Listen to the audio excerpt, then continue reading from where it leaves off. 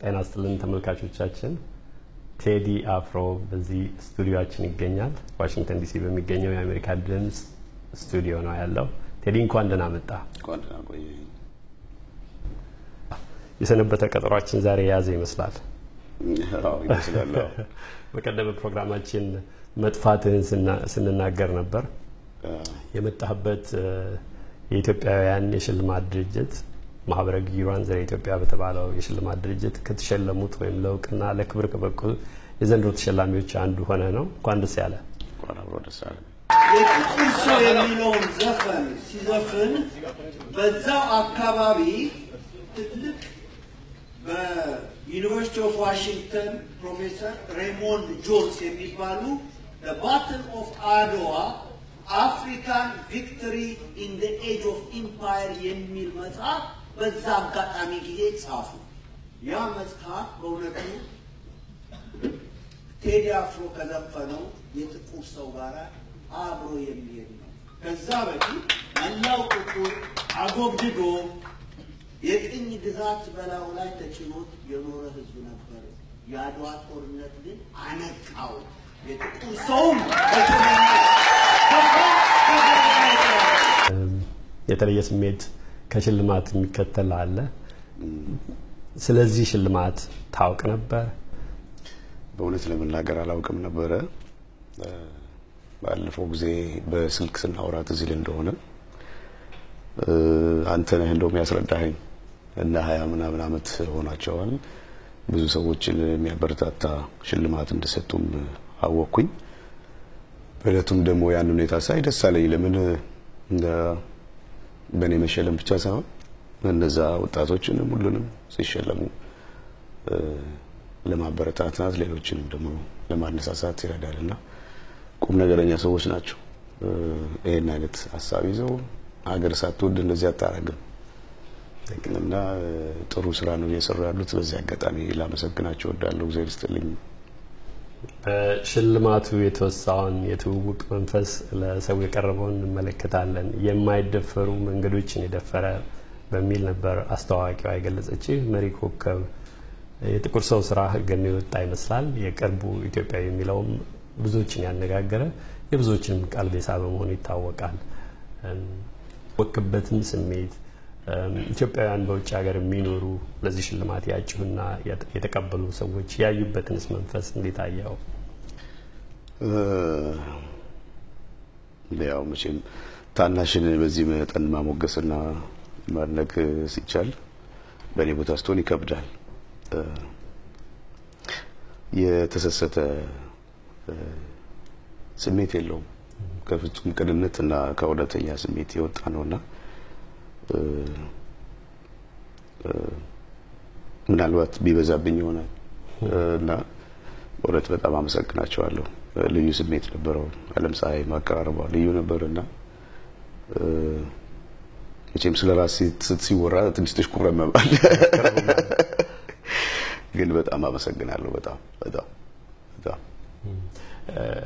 ቴዲ ከዋናውን ዜና እንዳይቀማ እሰጋለሁ። ትልቁ ለአንተ ለክብር መብቃትህ ከአዲስ አበባ ድረስ የመጣህበት ነው እና እ፣ ትልቅ ቦታ ይሰጠዋል። በእለቱ በዝግጅቱ ወቅት ዘግይተህ ነበር የደረስከው እና እ፣ የናፈቁህን ያህል የጠበቁ ይመስላል ታዳሚዎቹ። ለምን ዘገየ? በእውነት ለመናገር ከቨርጂኒያ ወደ ዲሲ ነበር የምንመጣው። ዲሲ ነው ሆቴላችን ያለው እና እዛ ሰዓት ላይ ከቨርጂኒያ ወደ ዲሲ መግቢያው የሞተር ሳይክል parade የሚባል ይሄ በብዙ group ሆነው የሚነዱ ሰዎች ለረጅም ሰዓት ለሁለት ሰዓት ከአርባ ምናምን ደቂቃ እዛ ጋር stuck አድርገን ነበር። ከዛ ወዲህ ነው እንግዲህ ቤት ገብተን ልብስ ቀይረን ለመምጣት በተቻለ መጠን የሞከር ነው።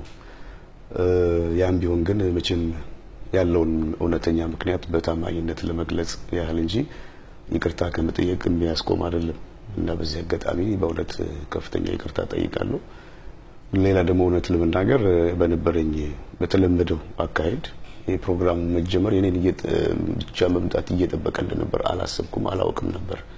ምክንያቱም ከተሸላሚዎቹ አንዱ እንደመሆነ መጠን ሌሎቹ ሁኔታዎች የተካሄዱ ቢያንስ እንደርሳለን የሚል ሩጫ ነው ስናደርግ የነበረው። ግን ስንደርስ ደግሞ ልካ ፕሮግራሙ እንዲጀመርም የኛ መኖር ነበረበት። ይሄ ደግሞ መቼም ገምተህ በተረዳኸው መጠን ያጋጠመን ነገር ነው እና ያ ደግሞ በጣም አሳዛኝ ነበር። በዚህ አጋጣሚ ሁሉንም ከልብ ከልብ ይቅርታ እንጠይቃለን። ምንም እንኳን ከአቅም በላይ የሆነ ሁኔታ ቢሆንም ሌላ ንግግር በማድረግበት ጊዜ በዚህ ለመጀመር ነበር ሀሳቤ። ይቅርታ ተነጋግረን ነበር በዚህ ሁኔታ ግን በእውነት ለመናገር ብችም ከአቀማመጡ ጀምሮ እዛ ጋር በነጭ መብራት ረጅም ሰዓት እንደዚህ ቁጭ ብዬ አላውቅም እና ልክ ንግግር ለማድረግ ከመውጣቴ በፊት እንደዛ ወጣቶች አነጋገር አስደስቶኝ ነበረ። እነዛ ልጆች እነሱ ላይ ነበር ሀሳቤ ያን ሀሳብ ለመግለጽ ነበር ያሰብኩት እና ስወጣ ሽልማቱም ሁኔታውም ሲፈጠር ያለው ሁኔታ በዚህ አጋጣሚ ይቅርታ እንጠይቃለን ሁሉም ይቅርታ በያሉበት ለተመልካቾች ለታዳሚዎችም እንደደረሰ ተስፋ አድርጋለሁ። ቴዲ ይሄ የብዙዎችን ቀልብ የሳበ እንደ ወትሮ ሌሎች ስራዎች ሁሉ ብዙዎችን ያነጋገረ ታላቅ ስራ ይዘህ መጥተሃል። አንዳንዶችም ከመምጣቱ በፊት ብዙ የተነጋገሩበት ነው። ግራ ቀኝ የየበኩላቸውን ሀሳቦች ሰንዝረዋል። በእኛም የሬዲዮ ፕሮግራም ሰፊ ቃለ ምልልስ ከጽዮን ግርማ ጋር አድርገሃል። ብዙ ስለ ሙዚቃው ባናወራም አንዳንድ ነጥቦችን እናነሳሳለን። ኢትዮጵያዊነት፣ ታሪክ፣ የማንነት ጥያቄ፣ አንድነት ብዙ ጊዜ ደጋግመህ የምትጎበኛቸው ርዕሶች ናቸው። ለምን? ምክንያቱም ደጋግመን ልናስብበት የሚገባ በጋራ በጋራ ጉዟችን ላይ የገጠመ ችግር ነው ብዬ አስባለሁ እና ይህንን አስተካክሎ ለመሄድ ደግሞ ሁላችንም ይህን ጉዳይ ቅድሚያ ልንሰጠው ይገባል ብዬ አስባለሁ። ምክንያቱም ተያይዘን መራመድ ካልቻለን ተያይዘን መውደቅ ነው የሚቀጥለው ነገር እና ይሄ ደግሞ እንደ አንድ ዜጋም እንደ ትውልድም አካል ሁላችንም የሚያሳስበን ነገር ነው። ወደሚቀጥለው ነገር ለመሄድ መጀመሪያ መጥራትና መሰራት ያለበት ነገር አለ እና ለዚህ ደግሞ ሁሉም ትውልድ ሊሳተፍበት የሚገባ ከምንም በላይ ደግሞ ታላላቆቻችን ሊያስቡበት የሚገባ እኛን መንገድና አቅጣጫ ለማሳየት ይሄ ደግሞ አሳሳቢ ነው። ምክንያቱም አገር ሲኖር ነው ሁሉ ነገር ሊኖር የሚችለው። በዚህ አንጻር ነው እንደዛ ማደርገው። የአሳሳቢነቱን ቀዳሚነት ብዙዎች የሚስማሙ ይመስለኛል። በሀገር ውስጥ ያሉ የፖለቲካ ልዩነቶች፣ አወዛጋቢ ሁኔታዎች፣ መልካም ያልሆኑ ሁኔታዎች እንዳይፈጠሩ ያደርጋል የሚለው ስጋት በብዙዎች ያድራል። በሀገር ውስጥ ተቀስቅሶ የነበሩ ቀውሶችም የቅርብ ጊዜ ትውስታዎች ናቸው እና ያን ስጋት ብዙዎች ሊጋሩ ይችላሉ። የታሪክ ንባብ ግን ታሪክ እንደ ጸሐፊውም የሚወሰድበት እንደ ፍላጎት ማስፈጸሚያም የሚወሰድበት ጊዜ አለና ያንተ በታሪክ የምታነሳቸው ባለ ታሪኮቻችንን ጨምሮ አጉልተህ የምታወጣቸውን በሌላ አይን ወይም ባለመስማማት የሚመለከቱ ወገኖች መኖራቸው የአደባባይ ጉዳይ ነው እና እሱ እንዴት ትመለከታለህ? በሁለት ነገር ነው። አንደኛው ለመረዳት መፍቀድ እና አለመፍቀድ፣ ሌላው ደግሞ ለመረዳት መቻል እና አለመቻል እና አንድን ነገር ለመረዳት መፍቀድ ሲኖር ነው የነገሩን ጥልቀት ያለውን የችግሩን መጠንም አይቶ መፍትሄውንም ለማየት የሚቻለው። በተዘጋ ልብ ምንም እውነት አይገለጥም። ስለዚህ አንድም ካለመረዳት ነው፣ አንድም ደግሞ መረዳት ካለመፈለግ ነው። ይህ ግን ለምን ሆነ አይባልም፣ ሆኗል። እንዴት መሆን አለበት ነው። ምን ይሻላል? ምን ይሻላል? እንዴት ብናደርግ ይሻላል? በጥበብ ስራዎች መነጋገር ይቻላል ብለህ ታምናለህ? በጥበብ ስራዎች መነጋገር ይቻላል። ጥበብ ትልቅ መሳሪያ ነው። ኪነ ጥበብ ኪነ ጥበብ ትልቅ መሳሪያ ነው እና እንደ አጋጣሚ ደግሞ እኔም በዚህ ሙያ ውስጥ ስላለሁኝ ስለተፈጠርኩኝ በተቻለ መጠን ያን ስሜት ለማሳደር ነው የሞከርኩት። ቀደም ብዬ የጠቀስኩት የኢትዮጵያዊነት ጉዳይ በብዙ ስራዎችህ በቀደሙ አልበሞችህ ተመላልሶ ተነስቷል። በተለያየ መንገድ በተለያየ ሁኔታ አሁን በገለጽከው ጥልቅ ስሜት ይነሳል። ኢትዮጵያዊነት ለአንተ ምንድን ነው? ማንነት ነው ለኔ ኢትዮጵያዊነት። እንደዚህ በእውነት ስብስብ ያለ ጥያቄ ነው የጠየቀኝ። እንዴት በብዙ ነገር ልትገልጸው ትችላለህ? ምንድን ነው ቀድሞ የሚመጣል ኢትዮጵያዊ ምን ይላል የጸጋዬ ገብረ መድኅን ጴጥሮስ ያቺን ሰዓት የሚለው ግጥም ላይ አቡነ ጴጥሮስ ኢትዮጵያን ሲገልጿት ምን ይላሉ? በልጅነታቸው ጀምሮ የነበራቸው ትዝታዎች ለግትላሜ ትንሽ ግጦሽ ከናዳ ሳር ከናዳ ጫፍ ሳር አጨዳ ከጅግራ ጋር መተሻሸት ከቆቅና ከምናምን ያሉ የልጅነታቸውን በወንዙም በሸንተረሩም በቀቤውም ያለፉትን ሰብስበው ከተናገሩ ያችን ነው ኢትዮጵያ ምላት ይላል። ይሄ በአንድ ጊዜ ተሰብስቦ የተፈጠረ ስሜት አይደለም። የለም ስላልከውም ላይኖር አይችልም፣ አለ እና ከዛ እውነት ጋር እንድንገናኝ ስለምፈልግ ነው። ስለዚህ አገር በብዙ መንገድ ይገለጣል። ይሄኛው ደግሞ ይበልጥ ይማርከኛል። ባህሉን ወጉን የሚመለከቱ የኖርነው ነገር ቅይጥነታችንስ አሁን ያነሳኸውን ነገር እንደየህይወት ልምዱ የተለያየ ሰው በተለያየ መንገድ ያየዋል።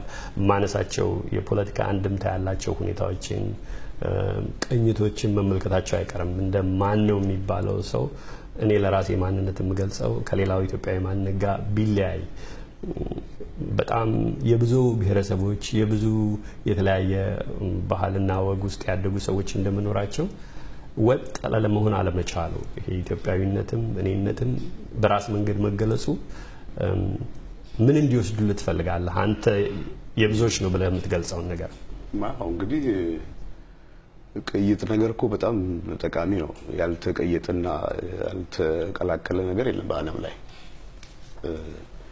እንደውም እንግዲህ አሁን እናንተ በምትኖሩበት አገር የብዙ ቋንቋዎች፣ የብዙ ሰዎች፣ የብዙ አገር ሰዎች ተሰብስበው ደግሞ ይህንም ያህል ሀገር መፍጠርም ይቻላል።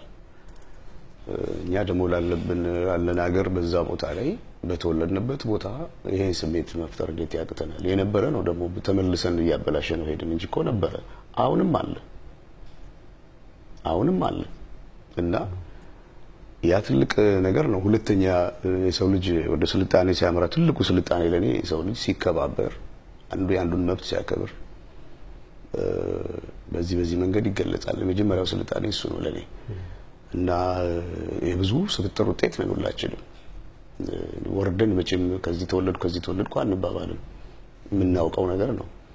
በቀያችንም የኖርነው በዚህ መንገድ ነው እና ይሄ የሚመርጡስ ጠቃሚ ነገር ነው። እሱን መንገድ ለሚመርጡስ የግድ አንድ መንገድ ላይሆን ይችላል። እንግዲህ እሱን መንገድ የሚመርጡ ሰዎች እንዳስተሳሰባቸው ነው። ላይዋጥላቸው የሚችሉ ሰዎች አሉ። መከባበር ማለት የእነሱንም ሀሳብ ማክበር ነው እንደ ሀሳብ። ግን ዋስትና ያለው ሀገር ያስፈልገናል አሁን ምክንያቱም ህልውናችን ስለሆነ በዚህ ጉዳይ ላይ ብዙ ብዙ ብዙ ነገር እኮ እንዴ ዛሬ አይደለም ኢትዮጵያ የተጀመረው የነበርንበት ነው። ሁላችንም የሁሉም ነገር ቅይጥ ነው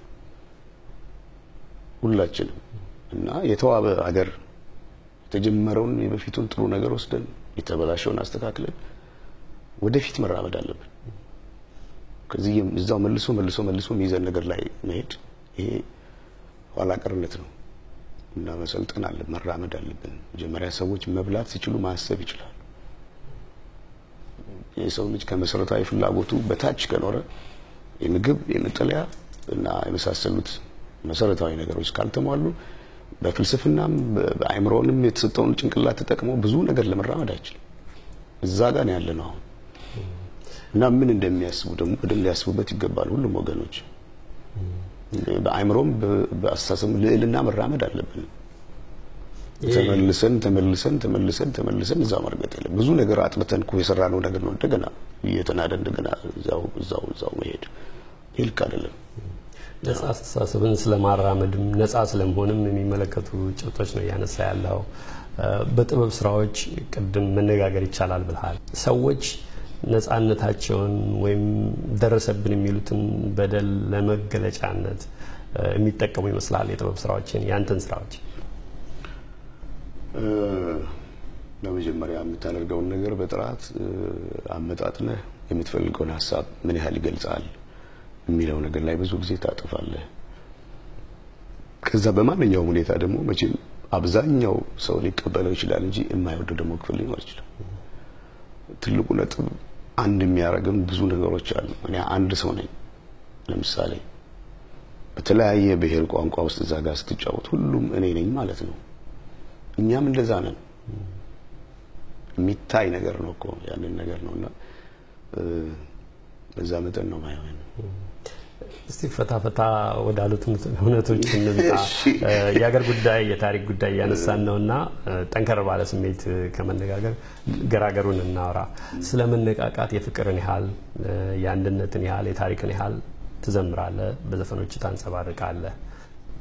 ወጣቶችን በቀናው መንገድ እንዲሄዱ ሰላም እንዲመጣ በብዙ ስራዎች ውስጥ ጎልቶ የሚታዩ ድምጾች የሚሰሙ ድምጾች ናቸው። አንተ በምን ትነቃቃለህ? የሚያነቃቃ መንፈስ በምን መንገድ ይመጣል? እኔ በፈጠራ ወቅት ነው የምትለኝ አይደለም። ምን ጊዜም ጥሩ ነገር ሳስብ፣ ጥሩ ነገር ስሰማ ነው እንደውም የመስራት ፍላጎቴ የሚነሳው። ለምሳሌ ወይ ስልክ ደውሎ ከሌ ታመመ፣ ከሌ ሞተ፣ ወይ ደግሞ ጥሩ ያልሆነ ያ ኤነርጂው ይጋባባሃል ራሱ እና ያወርደኛል እሱ እና ጥሩ በማሰብ ነው እንደውም ትልቅ ሰው ጥሩ መንገድና ትልቁ መንገድ ብዬ የማስበው ትልቅ ኃይል ይሰጣል እሱ። በዛ መንገድ ነው ጥሩ ነገር ማሰብ፣ ጥሩ ነገር መጫወት፣ መነጋገር፣ ህይወትን መካፈል ብቻችን አይደለም የምንኖረው ሁላችን እና በዚህ መንገድ ነው። ወደ ሙዚቃዎች እንሂድ። የሙዚቃ ምርጫዎች የራስ የገዛ ስሜትን ጭምር እንግዲህ መነቃቃቱ በአንድ መንገድ ምናልባት ከምትሰማቸው ሙዚቃ ምርጫዎችም ጋር ከተገናኘ ሌሎች የጥበብ ስራዎች እና የሌሎች ሰዎች ስራዎች የሚስቡ የሚማርኩ ካሉ ከዚህ ቀደም የወጣቶችን አውርተናል በቀደመ ውይይታችን። የሚስቡ ሙዚቃዎች ምን አይነት ናቸው? የምታነሳቸው ደጋግመህ ብዙ ጊዜ መኪና ውስጥ ወይ ሌላ ቦታ ስትሰማ የምታገኘውም ካለ ሙዚቃ በብዙ ሁኔታ ነው እንግዲህ ልትወደው የምትችለው። ከበፊት ጀምሮ በምትሰማው ከልጅነት ጀምሮ ያለ አለ በጥሩ ትስታዎች ውስጥ ያሉ። ከምንም በላይ እኔ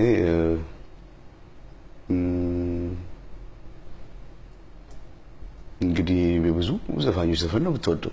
ከድሮ ጀምረህ እነ ጥላሁን ገሰሰ፣ እነ ሙሉቀን ቀጥሎ ደግሞ እንግዲህ በሚቀጥለው ደግሞ ትውልድ ያሉትን የተለያዩ እነ ቴዎድሮስ ታደሰ፣ ኤፍሬም፣ እነ አስቴር አወቀ እንዲህ እንዲህ እያልክ ወደዛ ነው ብዙ ጊዜ የምሰማው እነሱን ነው ብዙ ጊዜ ሙላቱ አስታጥቄን በጣም ወዳለሁ። እና ኃይሉ መርጊያ ደግሞ እንደዚህ ቅድም ሳሰማ የነበረው ያሰማው ቆየ በሰባዎቹ የተጫወተ ደግሞ ከእንግሊዝኛ ድሮ ኦንሊስ ነገሮች በጣም በጣም እነሱ soul አላቸው። በጣም ደስ ይሉኛል። እነሱ ብዙ ነው። ሙዚቃ የምትሰራበት ሁኔታ ውስጥ እጅግ በደንብ ይታያል። እንደ ድምፃዊ በድምፅ ብቻ አትወሰንም። የግጥም ስራዎች፣ የሙዚቃ ድርሰቶች ያንተ ናቸው። ዜማ ድርሰቶች ያንተ ናቸው። ቅርብር ውስጥም እጅህን የምታስገባ ይመስለኛል። ምን ያህል እንደምታስገባ አንተ ትነግረናለህ። ምንድን ነው በዛ ደረጃ እንድትሳብ የሚያደርግ? ብዙ ጊዜ የተወሰኑትን ስራዎች መስራትና መተውም አለ። ግን ጥሩ ስራ ስለሰራ ልንከራከራ አንችልም። እንግዲህ ከተሰጥኦ ጋር ይያያዛል። ግጥም የምትጽፈውም ተሰጥኦ ሲኖርህ ነው። ዜማ የምትሰራውም የምትዘፍነውም። ከዛ ባለፈ ደግሞ የፕሮዲውሰር ጸባይ ያለው ደግሞ ተሰጥኦ አለ። እንደዚህ አይነት ተሰጥኦ ካላቸው ለምሳሌ እንዲረዳን ቀደም ሲል እነ ሙሉቀን መለሰ ሙዚቀኝነትንም ስራ ነበር አብረው የሚሰሩት። በአፉ ነበር ትራምፔት በአፉ እያለ ኢንትሮ መግቢያ ሙዚቃ ሁሉ ይፈጥራል። እንደ አሊ ቢራም እንደዚህ አይነት ሰው ነው። ሌሎችም ብዙ ብንጠቅስ ሌሎች የሰጧቸውን ድርሰቶች እንኳን እስከ መቀየር ይሄዳሉ። ሌሎች የሰጧቸውን አብረህ የምትሰራው ነገር ነው። ምናልባት የድርሻ መጠን ልዩነት ይኖራል። ምክንያቱም በባለሙያ ቦታ ብቻ አይደለም፣ በአድማጭም ቦታ ነው ያለኸው፣ በባለሙያም ቦታ ነው ያለኸው። ሀሳብ በትክክል መለዋወጥ አለብህ። አሁን ወደሚፈለገው ነጥብ ላይ ለመድረስ እሱ ጋር ለመድረስ ትግሉ ማን አደረገው ማን ፈጸመው አይደለም፣ ውጤቱ የት ጋር ያምራል እና በዛ መጠን እንግዲህ እኔም እሳተፋለሁ አቅሜ በፈቀደ መጠን። የትኞቹን ትሰራለህ? ቅንብሮች ውስጥም ትገባለህ? አዎ ብዙ ሀሳቦች እሰጣለሁ በደንብ ብዙ ዜማ ስትደርስ የቀደሙት የዜማ ደራሲያን አንዳንድ የሚጫወቱት የሙዚቃ መሳሪያ ካለ ይዘው በዛ ማድረግ አለ። እንግዲህ ወደ ኋላ ወደ ፍጨቱን መመለስ ቅድም እንደምትለው በድምፅም ሊሆን ይችላል። ምን ታደርጋለህ? ዜማ ስትደርስ እንዴት ነው ዜማዎችን የምትይዛቸው? keyboard እጫወታለሁ። በ keyboard ነው ዜማ ማወጣው። አንዳንዴ ደግሞ በቃሌ ነው የማወጣው። ከዛ ደግሞ በኪቦርድ እንደገና ማጠናከር አለ። ብዙ ነገሩን እዛ አብላልተህ ነው ወደ ስቱዲዮ መሄድ ያለብህ። እንደዛ ነው የምሰራው። የሙዚቃ ነገር እንግዲህ ከምትወስደው ኃላፊነትም ጋር ይመጣል። ቅድም የታዳሚውን የአድማጩንም ፍላጎት ከግምት እንደምታስገባ ገልጸሃል። በምትሰራቸው ስራዎች የምትመርጣቸው ጭብጦችም ላይ ያን አይነት ዝንባሌህን ሊያሳይ ይችላል። በተለይ የምትመርጠው ነገር አለ? ቅድም ቀደም ብለን ካነሳናቸው ደጋግመ ከምታያቸው በኢትዮጵያ ታሪክ ውስጥ ትልልቅ ስፍራ አላቸው ብለህ የመረጥካቸውን ባለ ታሪኮች አጉልተህ እንደምታመጣው እንደ ባህሪ ሊታይ ሊገለጽ የሚችል ነገር አለ? በነገራችን ላይ ኪነ ጥበብ ስራ ራስህን ነው የሚመስለው። በኪነ ጥበብ ስራ ውስጥ በምንም ሁኔታ ራስህ ሳትሆን የምትመጣበት ሁኔታ የለም። ምክንያቱም ሰው ማንን ይመስላል ቢባል አነጋገሩን ይመስላል ነው የሚባለው። የምታስባቸው አስተሳሰቦች፣ የምትመኛቸው ምኞቶች፣ በአንተ ውስጥ ያለው ነገር ነው ወደ ፈጠራ የሚመጣው። ከዛ ውስጥ ነው የሚቀዳው። ሌላ ቅድም እንዳልኩህ ደግሞ በአድማጭም በትን ቦታ ሆኖ የምልህ ነገር ምናልባት ግልጽ ለማድረግ ከተመልካቹም ከአድማጩም ጋር የምትገናኘው ከራስ ጋር የተገናኘህበት መጠን አለበለዚያ ኮመርሻል ይሆናል። ልክ አንተ ነፍስህ የሚያስደስትህን ነገር ስትከተል ሰዎች ነፍሳቸው የሚፈልጉትን ነገር ያገኛሉ። እዛ ጋር ነው የምትገናኙት። በፍጹም ታማኝነት ነው በከልብ ማድረግ ያለብህ።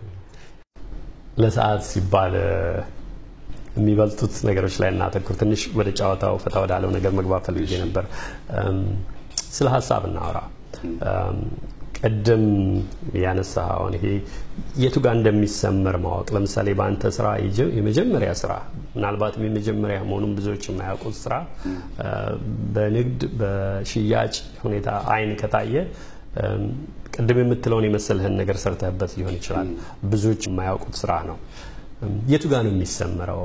የታዳሚው ፍላጎት አንተን የሚመራበት አንተ አድማጩን የግድ የለመደውን ከመስጠት ማስወጣት የምትችልበት? ጥሩ ጥያቄ ነው።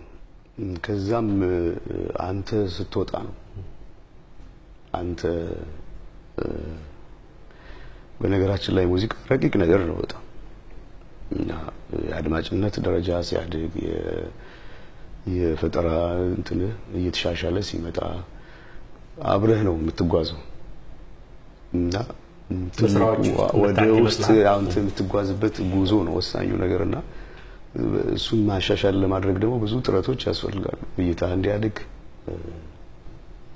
የተመስጦ ደረጃ አንድ ውጤታማ የመሆን ደረጃ የምትመጣው የተመስጦ ደረጃ በጣም ጥሩ እየሆነ ሲመጣ ማለት ነው።